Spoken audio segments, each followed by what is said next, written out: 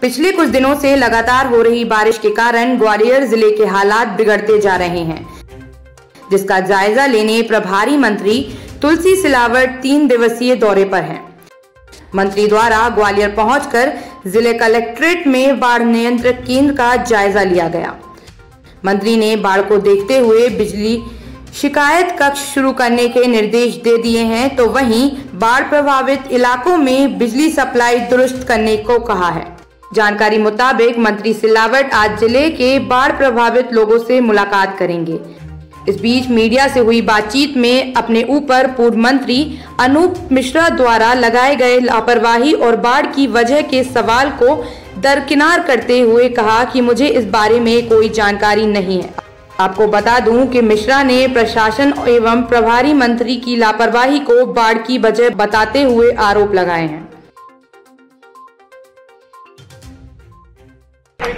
बनी हुई अतिवृष्टि हो रही है और इसी पर पूरी सरकार, मुख्यमंत्री स्वयं प्रतिदिन रोज समीक्षा लेना है। कल भी हुई बैठक, अभी भी, आज सुबह भी हुई अभी, और मुख्यमंत्री स्वयं आके देख के गए हैं। और उस पर विचार कर रहे हैं हम लोग। अनूप अनूप मिश्रा ने कहा कि आप लोगों वो मेरे संज्ञान में नहीं है।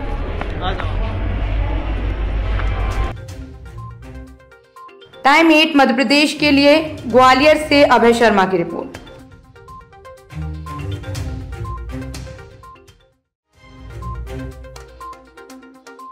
पिछले कुछ दिनों से लगातार हो रही बारिश के कारण ग्वालियर ज़िले के हालात बिगड़ते जा रहे हैं। जिसका जायजा लेने प्रभारी मंत्री तुलसी सिलावट तीन दिवसीय दौरे पर हैं।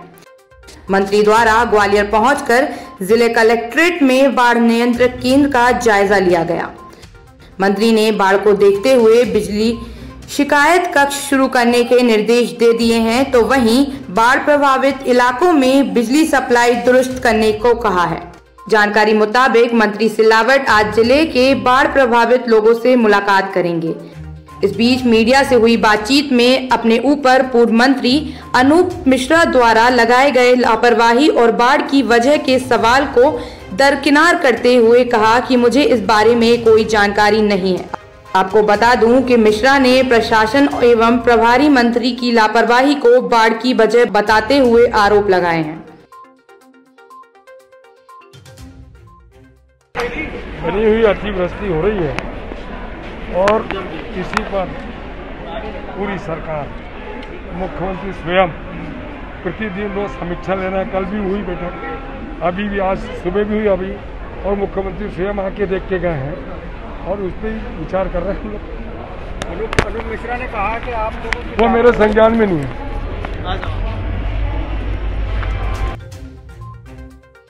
टाइम एट मध्य प्रदेश के लिए ग्वालियर से अभय शर्मा की रिपोर्ट।